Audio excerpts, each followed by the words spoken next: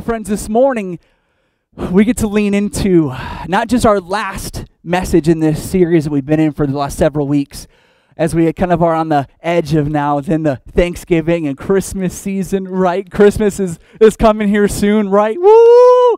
Right, even uh, even yesterday, or I think it was Friday, yesterday or Friday, um, Mason jumped on my computer and, and Aaron asked him, What are you doing, Mason? What are you doing? And, and he said, Oh, I'm, I'm ordering presents for the mailman to bring me. oh, my goodness. But, uh, but listen, but in this series, we've been walking through the book of Acts. And this has been a great conversation, one that we've been having on Sunday morning, and one that we've been really leaning into throughout the week in our small groups. But listen, this morning there comes a moment. Last week we talked about the moment where, where this guy named Saul meets Jesus, a powerful moment where his life is completely spun around and how he becomes a person who was once against what God is trying to do and against, uh, against this new work of, of, of what God is bringing into the world, and now he is for it and being used for it. Incredible. And you see, after that moment, there's great peace that happens in the life of the church, but it doesn't last for long because someone else steps up to the plate, and this person too has his, his sight set on taking down the church. And you see, what happens, this guy named Herod becomes king of all Judea area and this, this section of the world, over, under the provision of the Roman Empire. And you see, you've, you've heard of this guy a little bit, but you have actually heard and read about his father and his grandfather. You see, Herod's grandfather was the one we read about in Matthew chapter 2, the moment where he's trying to use the Magi to find who the Messiah is that people are saying are born in the world because he wants to go and get him and, and, and take him out. We've read about his father because he's the same gentleman who's Herod the Tetrarch who killed John the Baptist.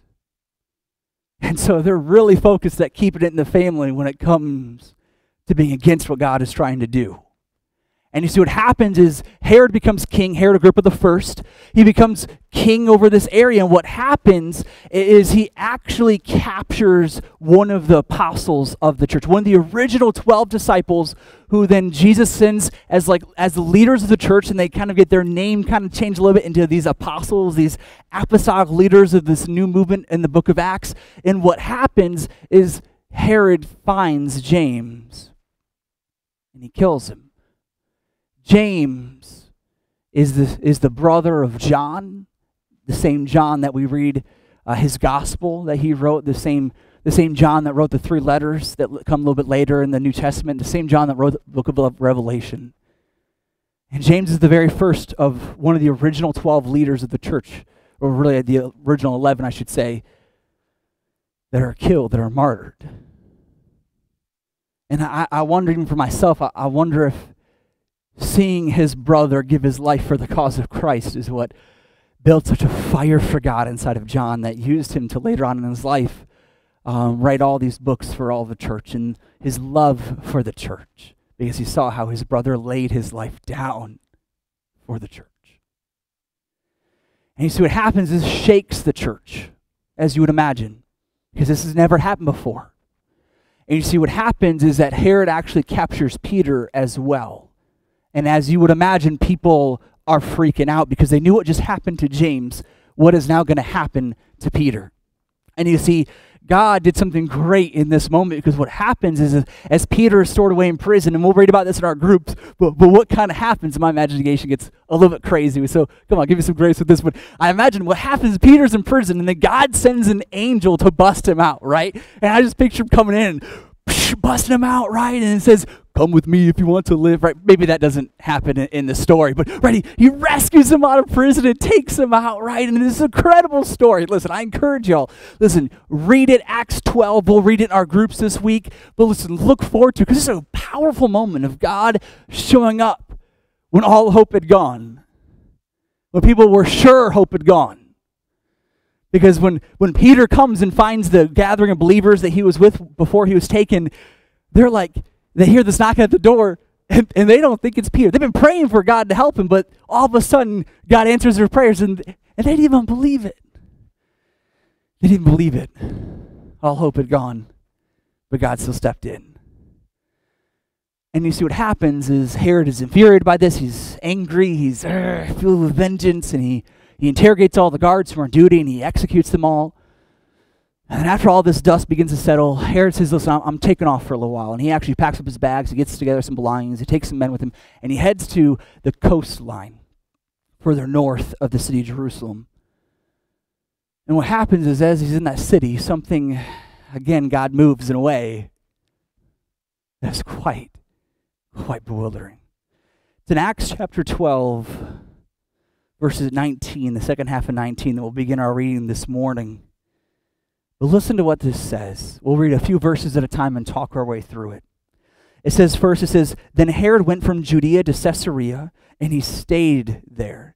He had been quarreling with the people of Tyre and Sidon, and, and they now joined together and sought an audience with him. After securing the support of Blastus, a, a trusted personal servant of the king, they asked for peace because they depended on the king's country for their food.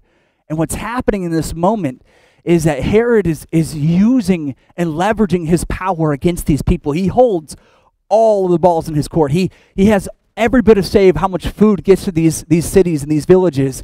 And, and he is leveraging and he's taking advantage of these people. And they, they even go as far to try to find someone who's on, on, on Herod's good side to speak on their behalf in their favor. I mean, they're begging for his help. And this is what happens next. It says, On the appointed day, Herod, wearing his royal robes, sat on his throne, delivering, delivered a public address to the people. And they shouted, This is the voice of a God, not a man. And, and historians actually tell us, because this is a, you know, Herod is, w- w- what's amazing with the Bible is that this is not just like history in a jar that sits on the shelf separate from the rest of world history. This, this is world history. And so there are many other historical documents that tell us about this day because he was quite a well known official in the kingdom. And, and what they tell us about the day is that there he was in his throne room with hundreds of people in the room, and he's wearing these garments with metallic elements built into them, woven in, pieces of silver and whatnot. And what would happen is when the sun would hit him, it would beam into the eyes of the congregation or into the eyes of, of, of the audience in front of him. I mean, he would radiate, and that was the intentional aspect of what he's wearing, is that when he would stand or sit in the sunlight, it would tinkle, and it would, it would, it would, uh, it would glisten in the light, and it was, it was blinding to folks at times, as almost this sense of divine radiance would come off of him, and that's what he was out to accomplish in that moment. But then God shows up. Read verse 23 with me. It says, Immediately, because Herod did not give praise to God, an angel of the Lord struck him down. And listen to this he was eaten by worms and died. He was eaten by worms and died. Isn't that crazy? let's read it again. He was eaten by worms and died. Oh my goodness. Again, all of the supporting documents that kind of talk about this moment in history explain that Herod collapsed instantly. He collapsed instantly from some sort of overwhelming pain in his body. He was taken away. And what it was described at that time was he felt like he was dying from the inside out. He was dying from the inside out. And he, he lived for a couple more days and then he died. And it's, it's insane. I mean, he, he was killed from the inside out. What an, ex, what's an, what an excruciating, what a painful way to go out in the world. And that is what happens to him. How crazy is that? Then it says in verse 24, but the word of God continued to spread and flourish. And what's so wonderful about how that is written is the word but means in spite of and is kind of a continuation of. Therefore is usually like a conclusion point, all these things adding together, so this means that.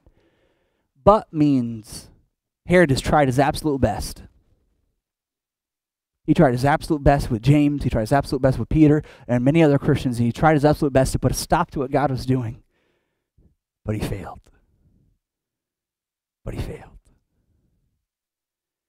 And you see, in this moment, we read about a man who did some horrible things, evil things, And it's easy for us to, to move on to the next moment in Scripture and just say, okay, what, what kind of happens next? It's easy for us to overlook what happens in this moment, but I do not want us to miss the reason why. The reason why Herod dies. Because it was said in this moment. It said in verse 23, it said, because Herod did not give praise to God. I, I love how the New King James also says it. It says, because Herod did not give glory to God. He was an evil man who guilty of martyring people, taking, taking advantage of cities, being a dictator in the way that he would manipulate com- communities and, and withhold their food and leverage his power. This egotistical, driven gentleman. This man who, who had a, a God complex, right, when he would put on his special robes and stand before audiences. He would do all these horrible, horrible things but yet, it doesn't say that he was struck down for any of those other things. It just says this because he did not give glory to God.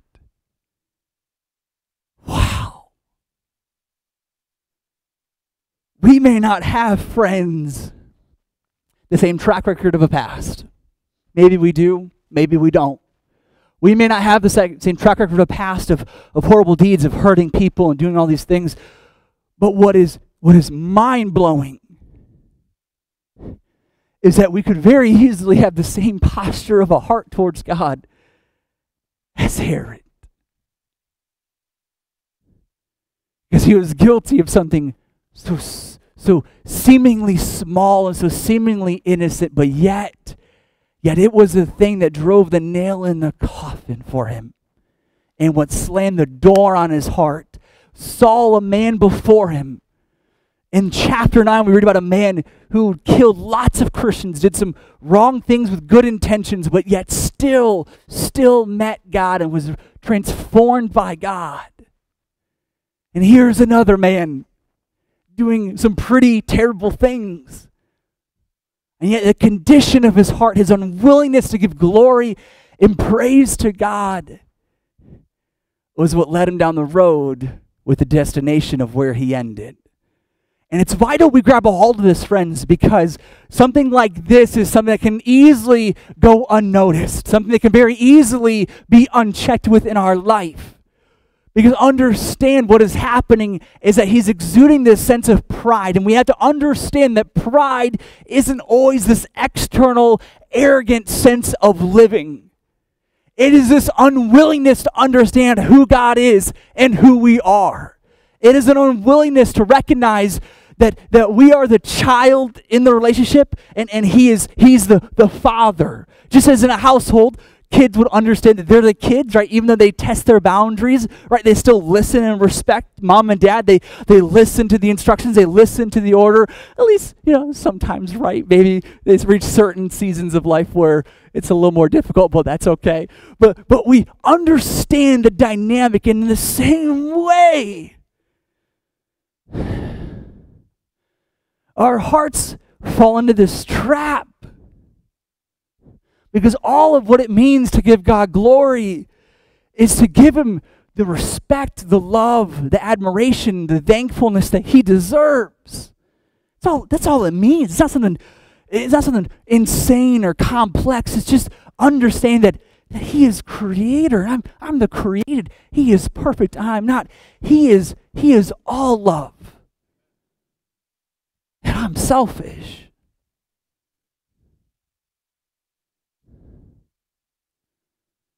That's what it means to understand who we are in this, in this relationship. And it's vital we begin to grasp this because it can so easily go unchecked in our walk with God. Jesus himself comes across a young man, a young man who had a lot of possessions in his life. And, and what happens, the young man comes to him and says, Listen, Jesus, good teacher, what must I do to be right with God? He says, what must I do to in, you know inherit eternal life? But what must I do to be right with God? And, and, then he goes on to say, you know, I followed all the commandments. I've done all the right things. I've done. I've helped people. I've been generous. I've given to the poor. I've served. I've I, have volunteered. I've I've get. I, have been a nice person. I held open the door. right? I, I help the old people across the street. I, I'm a nice person. And then Jesus looks at him. He says, I want you to go give away everything you have. And the guy says, I can't do that. Now that there's something evil about having a lot of wealth. Now that there's evil about being successful in life. But Jesus saw right through all the smoke, and he saw the reality of this man's condition. He saw that he valued all of what he had. He valued his image. He valued his comfort. He valued the respect he got from his community. He valued how people saw him and saw him and looked up to him. He valued so many other things more than God. And that is the dynamic of what it means to give God glory is what do we value?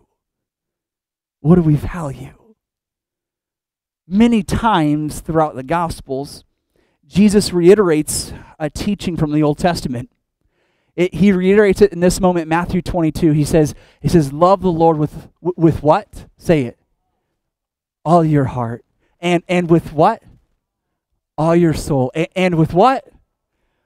all your mind. This is the first and greatest commandment. And the second is like it to love your neighbor as yourself. Jesus reminds his disciples, he reminds people, he reminds the Pharisees, he reminds everybody all the time. Hey, listen, have you forgotten what it says in Deuteronomy? Have you forgotten the summary of the law? Have you forgotten? This is it. This is it. We sometimes get overwhelmed with the complexity of all these testaments and these, or the, I'm sorry, the, the, the, the commandments and all these other guidelines and all these other parts of the Old Testament. But listen, don't you, don't you just remember? Don't you just remember how simple it all is? But I want to ask two questions this morning, church.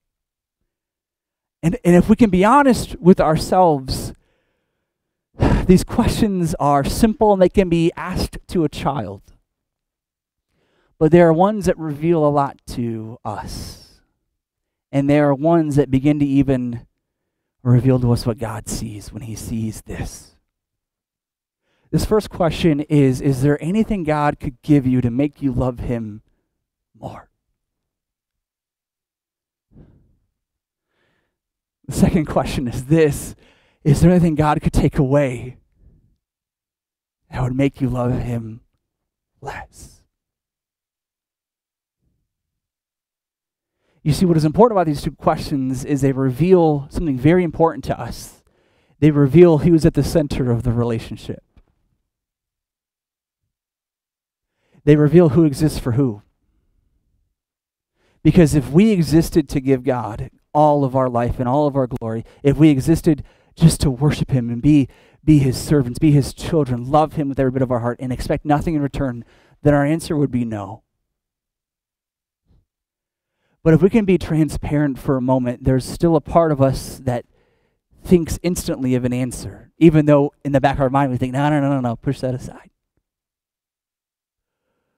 Because there's a part of our flesh that very much comes alive, that seeks out after our best interest. And we say, you know, Lord, I'll, I'll love you with all of my heart, all, 100%, if you were to do such. If you were finally to fix this person that I'm just having so much difficulty with, if you were finally provide this for me, I've been praying for so long, Lord, I, I would love you more if, if you finally, finally showed up the way I'm asking you to. I would love you more if finally you you you changed what I've been what I've been struggling with for so so long. The reality of the second question is is that Lord, if you were to take this away, or if you were to never do this, I'd have a hard time loving you with all of my heart. I could get to maybe 70%. I could get to maybe 50%. I'll never, I'll never walk away. I'll never denounce. But I'll have a hard time getting to 100 if this is never done. You see, there's a well known story, and perhaps you know it. You know it for one part of the story, but there's a whole nother ending that maybe you've never heard. You see, a long, long time ago, there was a gentleman named Horatio who was a very successful businessman. And when he was 33, he married the love of his life, Anna. And it was just stars in the sky. They had kids together. They had five children together. Life was going well and everything was going great, and, and, and they were very devout in their faith. They walked with Jesus faithfully. They, they served in their church. They were leaders in their church. They were even great friends with, with, with, with Dr. Moody, this gentleman who was a great evangelist and pastor in the 1800s here in America.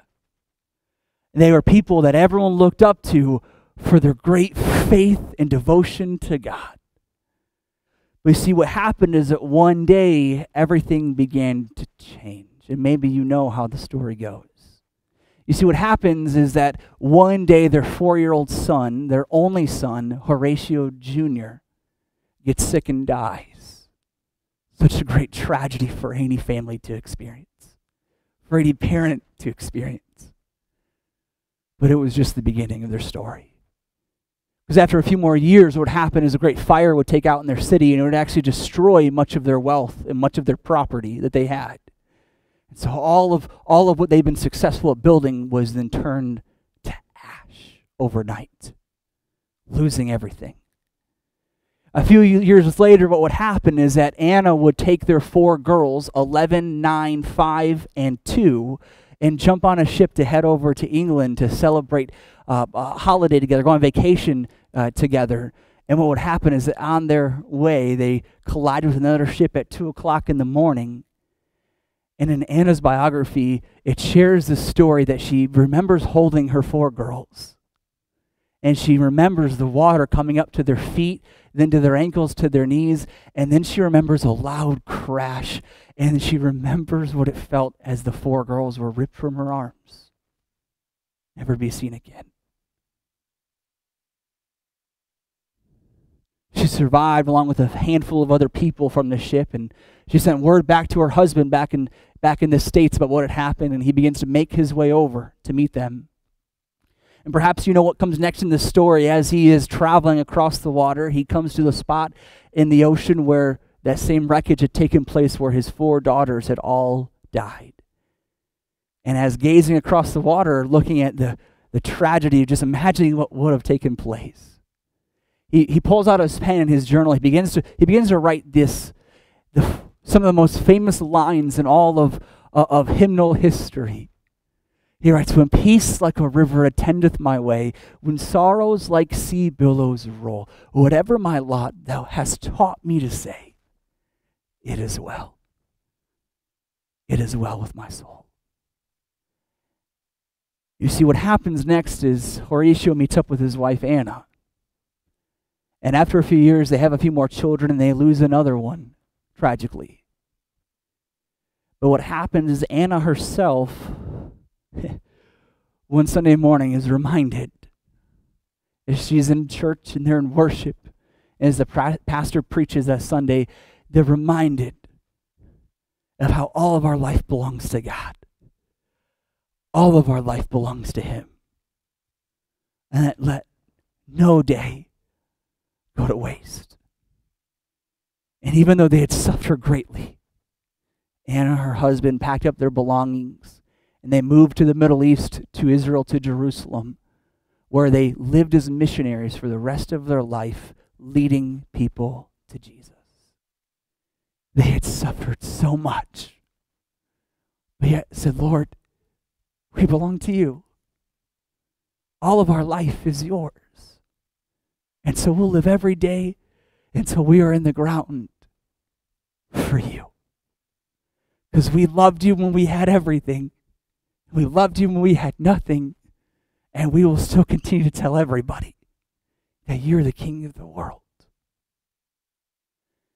And you see what is vital for us to begin to understand, friends, is that when we embody this type of desire to love God in this way, it's this, it's this obsession with making sure that He has our all, that we belong to, that we are not our own, that He is not just the center of our life, that leads and speaks truth and guides everything, but yet we belong to Him. Everything we have belongs to Him. Every bit of who we are belongs to him. He, he sustains us, he leads us because we belong to him.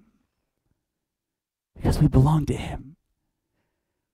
I, I want us to understand a few more things. This really that, that a heart that is full of life is one that is fully sacrificed for the glory of God. Making sure that in everything we do, in the way that we live our life, in the way that we lead our homes and lead our households, that it would bring glory to God.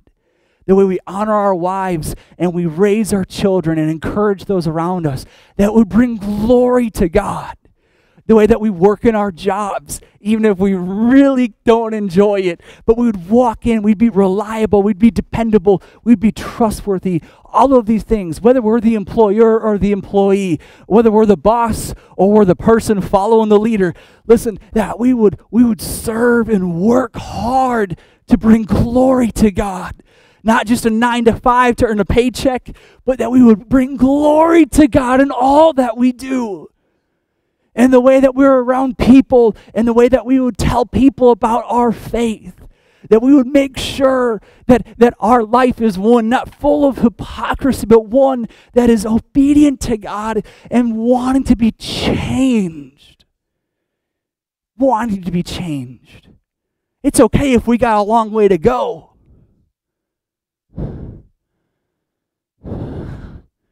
But it's about wanting to keep moving forward and saying, Lord, I want to bring you glory. I want my grandkids to tell stories about me and my faith and my love for you and my generosity and my obedience. I, I want family stories be told when I am gone about how grandpa or how grandma, or how great grandma and me, me and papa, whoever, how, how they just, they love Jesus. And they were, they, lived for him only. This time I, I, I, saw them make a, a massive donation to help somebody. I, I, saw I saw Grandpa get out of his truck to help somebody who broken down on the side of the road. I saw my dad, I, I saw him go and give hand to someone who was in need, even though he was so overwhelmed. I saw how he gave glory to God in, in everything. A heart that is full of life what we want to know, what we want to live, what we want to experience, what we're chasing after, trying to find. Heart that is full of life is one that is fully sacrificed for the glory of God. that is it. That is it. Because life is but a, a vapor, the Bible says. It is quick, it is short, it is why Solomon writes so much in Ecclesiastes about how it is better to go to a funeral than to a wedding. Because it reminds us of the value of life in each day in the way that we live it. I want us to understand that a heart full of life is one full of love for God with no strings attached.